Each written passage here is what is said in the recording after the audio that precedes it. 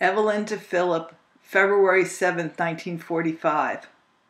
Dearest darling, the shower last night was just perfect. The gifts were really lovely and I enjoyed myself thoroughly. Goldie and I got there at 8:30 and the whole gang left at 11:30. The table was set up so beautifully it was a pity to mess it up. And the food was so delicious that I had two helpings of potato salad and you know full well, baby, that I detest potato salad. The reason I liked it so well was that it had shredded carrots and peppers in it and was a cross between potato salad and coleslaw. I chatted with many people present, whom, most of whom were from the neighborhood. I also got to talking with Mrs. Taylor, Sid Taylor's mother, and her daughter in law, Sylvia, who once upon a time was my girlfriend. Sylvia told me that Lena's husband, remember Herbie Miller, is leaving for the service this month. I never thought they would take him on account of that terrible automobile accident he was in. Just shows to go you. Milt, Brown, Milt Brown's girl Sylvia called me shortly before I left for the shower to tell me that the snaps we took when Sid and Jack N were here turned out well and that she will bring them up this coming weekend. There was one pose of Adele alone, profile, and she says it turned out beautifully. I'm most anxious to see them, and I'll send along to you immediately, baby. A fellow came into our office the other day selling $1 coupons, good for an 8 by 10 oil painting at the Lauriston Studios.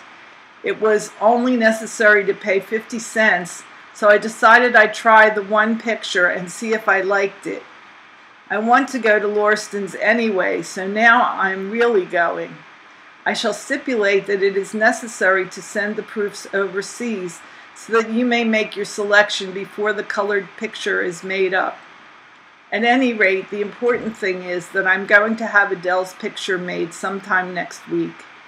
I want a full length pose, and I understand it is extra for such, but that doesn't mean a thing. I want a close up and a full length.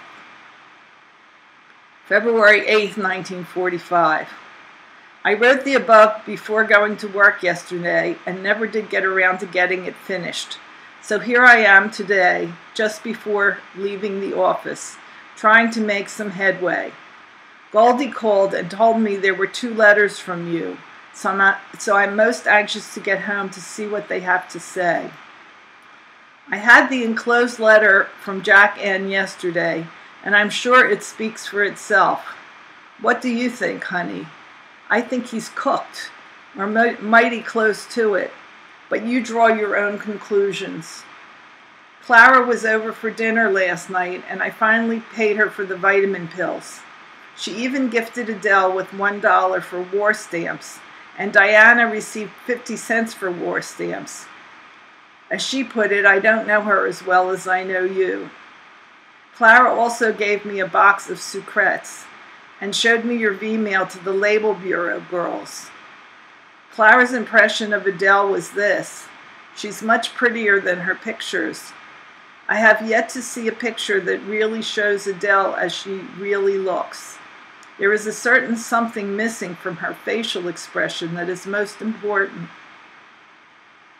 Home again, and I hope this letter isn't becoming too confusing.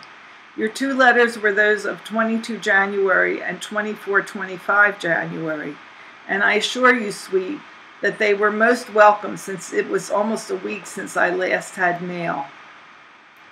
There isn't anything that really inspires comment except this. I definitely do not want you to take a furlough unless, as you say, you will go back to your outfit. I still prefer to wait till you can come home, for I feel certain that the longest part of the waiting is over. I think I might, made myself very clear on that issue. In your letter of the 25th, you enclosed the leaflet about the 8th, and I found it most interesting.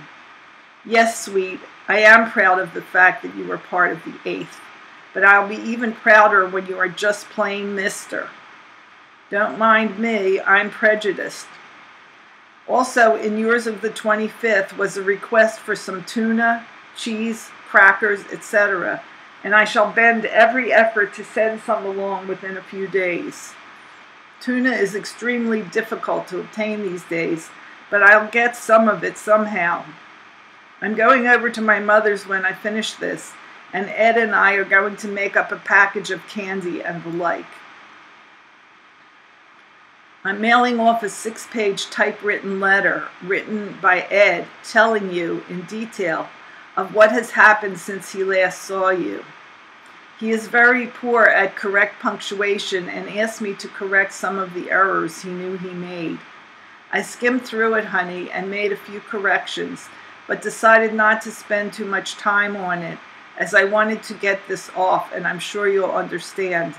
It's a beautiful letter, and I never thought he could write so well. Most surprising of all is this.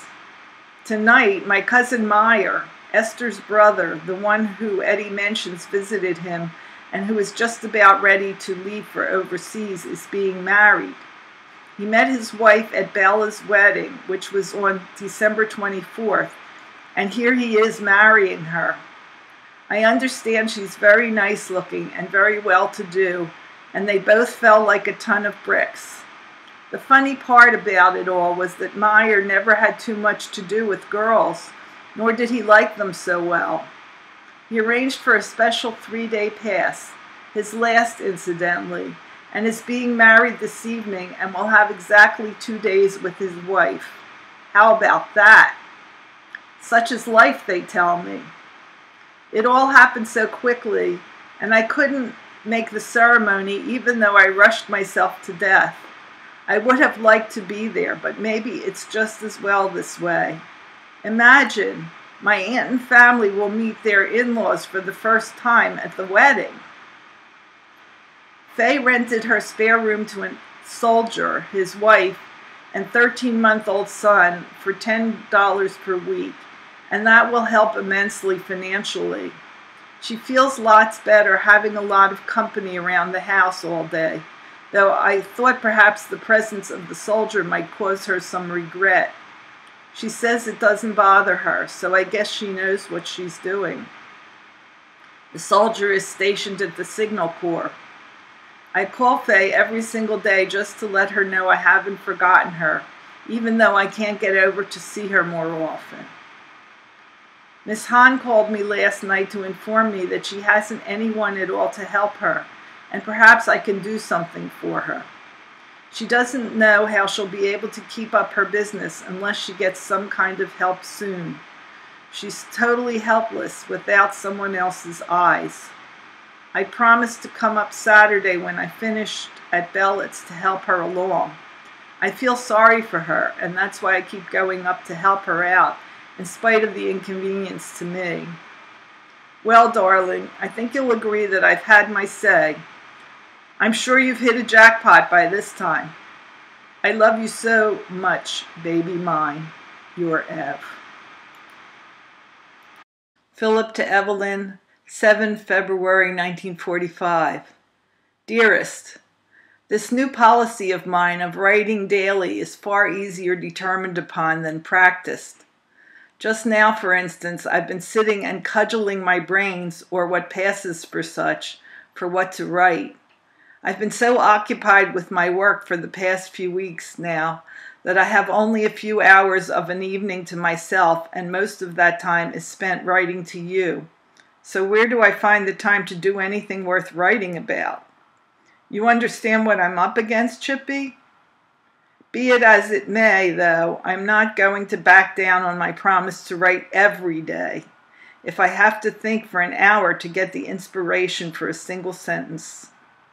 Tonight I saw Casablanca again, and so strong is the spell of the beauteous Ingrid Bergman, so reminiscent her acting and actions of my own sweet Chippy, with her frank display of affection and intimate, heartwarming smile, that all I can feel and think about tonight is how I crave to hold you in my arms. How great is my need of you, and how glad I'd be for the mere sight of you. If I were a drinking man, I would no doubt be down at the base pub getting drunk, but being just a little short of a teetotaler, I can only sit and yearn and hug the memory of you close to my heart. I love you so very much, my Ev, that my every conscious thought is in some way connected with you. The greatest cross I shall ever be called on to bear is to be without you. I feel so incomplete away from you, sweet, that I am often brought up short by the realization of my present empty, meaningless mode of existence. It is at such times that I rail inwardly at the fate that has befallen me and so many millions like me. If I only had Adele, darling, as you have, she would, I feel, feel, fill some of the great emptiness within me that emptiness that is born of and synonymous with the infinite loneliness that assailed me a moment after we parted the last time, and which has lived with me ever since then. Surely no mortal's happiness was ever so dependent on the presence of his mate and child. Perhaps, darling, I am being unwise in this confessing my utter dependence on you and you may think less of me that I cannot conquer my loneliness and depression, and you may mistakenly assume that I indulge myself to the extent of self pity, which would or should inspire some measure of contempt for me and you. But if missing you and needing you and loving you almost to the exclusion of everyone and everything else is contemptible, then I only ask you to try to understand and forgive. Your Phil. Edward Paller, Ev's brother to Phil. February 7, 1945, Philadelphia, PA. Dear Phil, in one respect, I didn't want to write this letter because it's been so long since I last wrote to you, and I know you was expecting to hear from me sooner than this, but you know the old slogan, better late than never. I have so much to say that I thought I'd save it all and tell you everything in this letter. My memory is very good, and I remember some of the questions you asked me in your letters. By the way, I did receive all your letters, including your last one dated October 21st, 1944. If you remember, you asked me whether I knew or heard that I was being sent home. I didn't answer your letter because I was never told I was going back to the States until the very day I left. You remember the day you came to see me and they told you I was going to take some shock treatment. Well, I told the doctor after I had taken two shots that the treatment was hurting my spine and I wasn't kidding a bit either. So they stopped giving me the treatment and two weeks later they sent me to a closed ward to take insulin treatment. I remained in that same ward till the day I left. Just to straighten out the story, the first time I entered a hospital was on August 4th, 1944. The last letter they received home from me was dated August 3rd. I stayed at the 96th General for almost three months, and then finally on October 27th, I was told to dress and be ready to leave immediately. We were put on ambulances and after riding almost four miles, boarded a hospital train for Liverpool, where a hospital ship was waiting for us. We no sooner got on than 15 minutes later we set sail for the land of liberty. Although it took us 17 days to hit the States, we had a swell time aboard ship. Here's the way the routine went. We got up at 7, made our beds, then went to chow at 8. There's no need to tell you that the food served aboard ship was the best I ever tasted since being in the Army.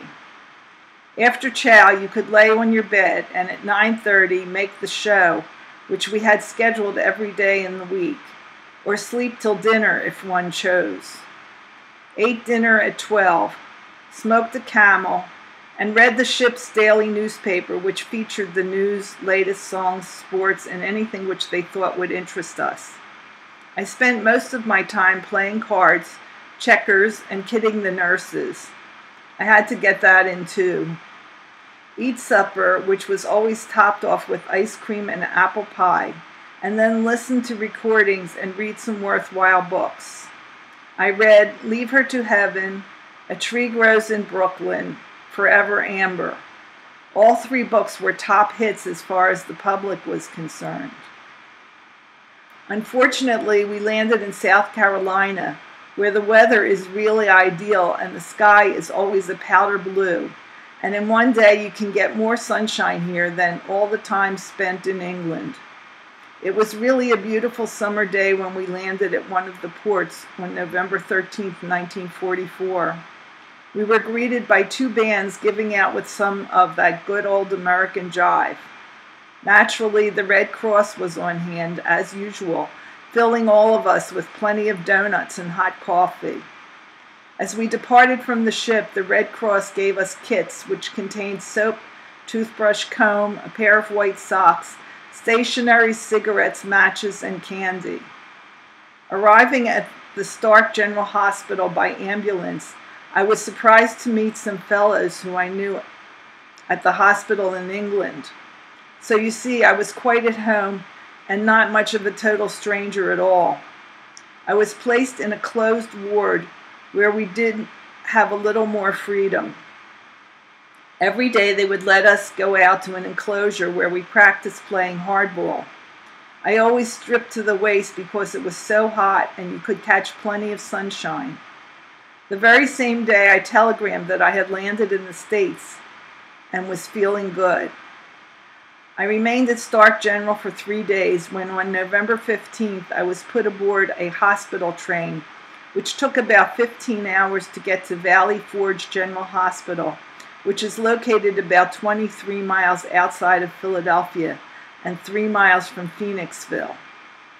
Valley Forge is really a big place and very beautiful too as far as the outside is concerned. What goes on in the inside is another story. Upon my admission to the hospital, I was interviewed by a medical officer, captain, who was later to become the officer who decided my fate for the future. I was placed in a closed ward and treated very nice. We saw movies and USO shows every night and had various people representing different organizations pay visits to see us. Spending a day at the hospital went something like this. We're awakened at 7:30 and didn't eat till 8:30. In order to keep the morning hours from dragging by, I tried to keep myself very busy by occupying all my spare time with some sort of en- entertainment. So in the morning, maybe for an hour or so, a few of us would get together and form a tournament in playing ping pong. The object was to lose as few games as possible in the hour that we played. This would make anyone who lost no games or who lost very few the champ for that day. I must say I came out pretty good in the long run. The remainder of the morning went to occupational therapy, where I made wallets, picture frames, keychains, rings, and other ornaments which could keep me busy. Came back just in time every day for chow. Take about an hour's rest, then shoot pool for three hours. I'm really getting to be a master at that game. I always made it back about an hour before chow to listen to recordings play cards, or cut a rug if you're hep to the jive. Summer supper was always the best meal of the three. Maybe because I got a bigger appetite in the afternoon. I'd read up on some good books I had started for two hours or more, and then make the evening USO show or movie. We saw all the latest shows which were just beginning to play in Philly when we would see them. I spent all the holidays in the hospital Thanksgiving, Christmas, and New Year's. I thought of far better places I could have been, and then again I thought of far worse places I might have been. Four weeks after I was admitted to the hospital, I was presented to the board, which consisted of my captain, a major, and another captain and non commissioned officer. This took place on December 13th.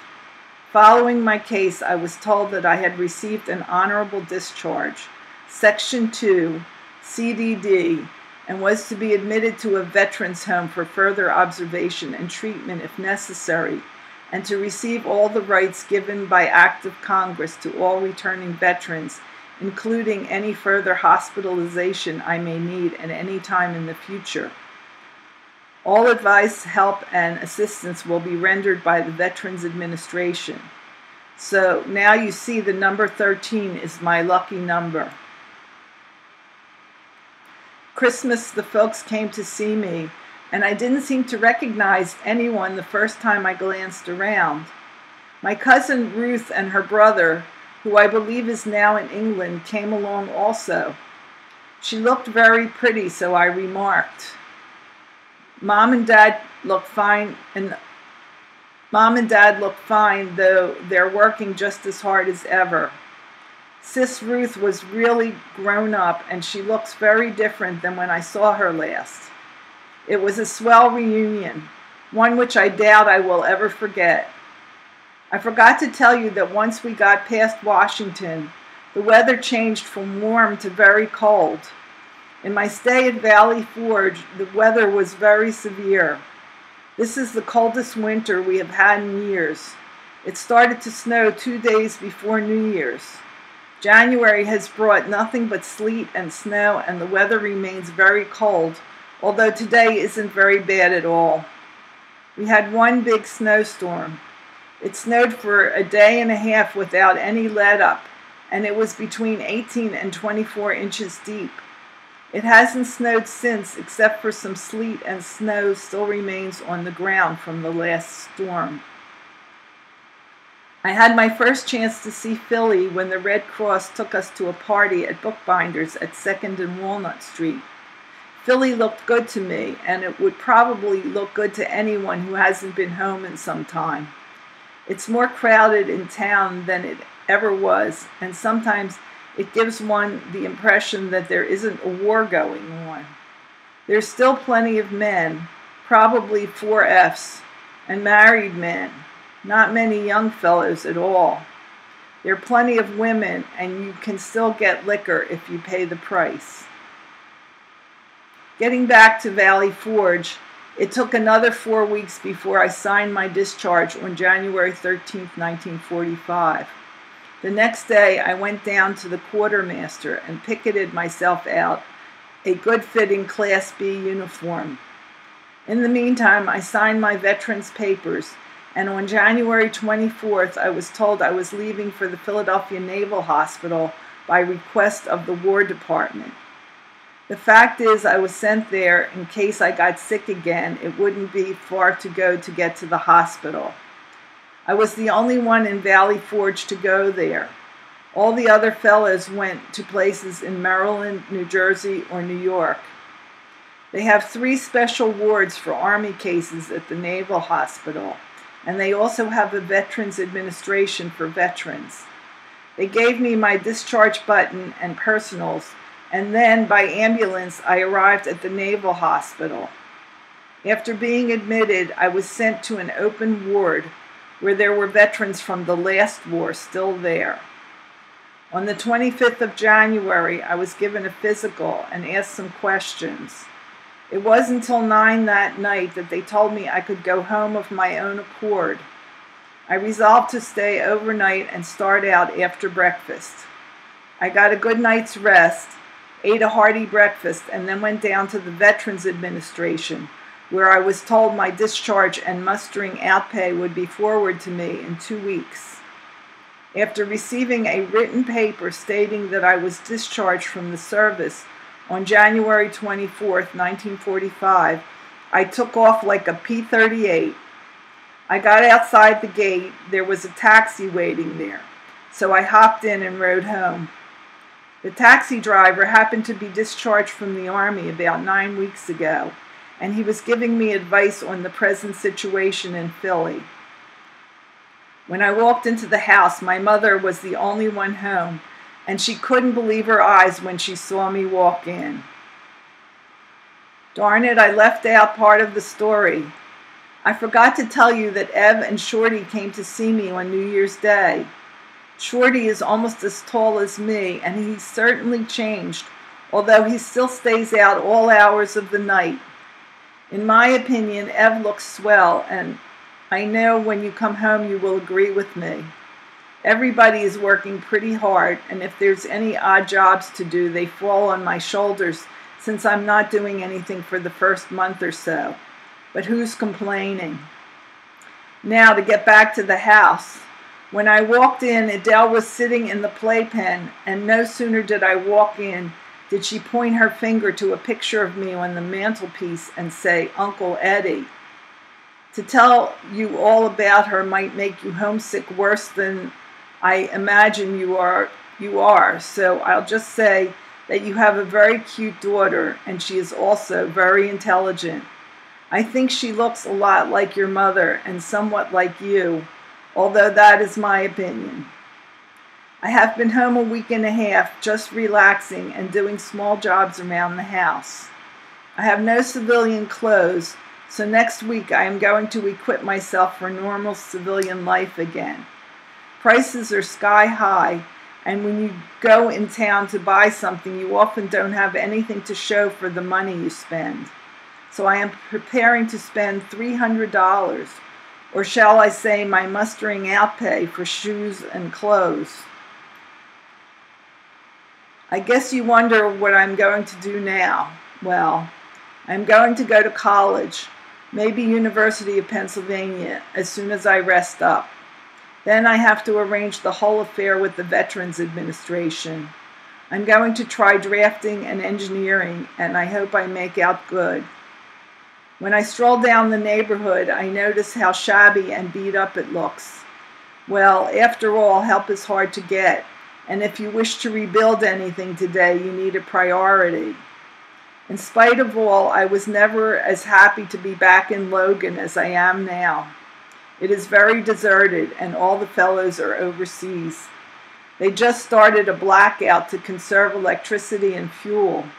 All advertising signs, movie, and nightclub lights are turned off, including anybody who owns a business. It is hard to get anything of good quality unless you pay a high price for what you buy, and then sometimes you can't even buy it. Cigarettes, oils, gum, good candy, and various other items are hard to get.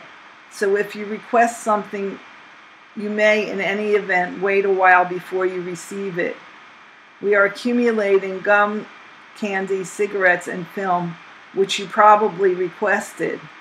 As soon as we have enough, we will ship the package off to you.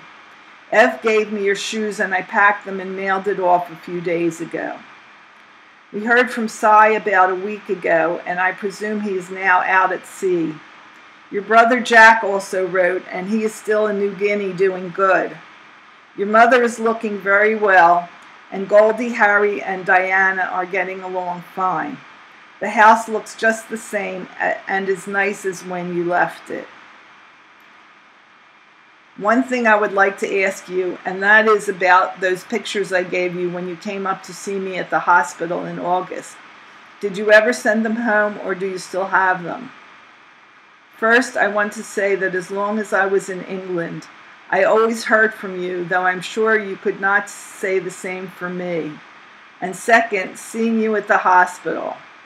I was hoping you would be able to receive that furlough, for I knew it would be the last time I would see you although I couldn't write such a statement in my letters. And like I said before, I never was told I was leaving for the States. But I do want you to know that if there is anything I can do for you, just write, and I will be only too glad to. I don't know how you stand, and I am no one to predict how long this war is going to last. Like all, I hope and pray that wherever you are, that someone is watching over you. We all look forward to your return home, regardless when it is, and I shall always remember that patience is a virtue and always pays off in the long run. In closing this letter, I hope you're in the best of health and feeling fine, and that the English weather is the worst enemy you have to combat. With all due respects from both families and also from friends, I send you my deepest regards for your continued health and happiness and the remaining time that will elapse until your safe return home once more. With love from all, Eddie.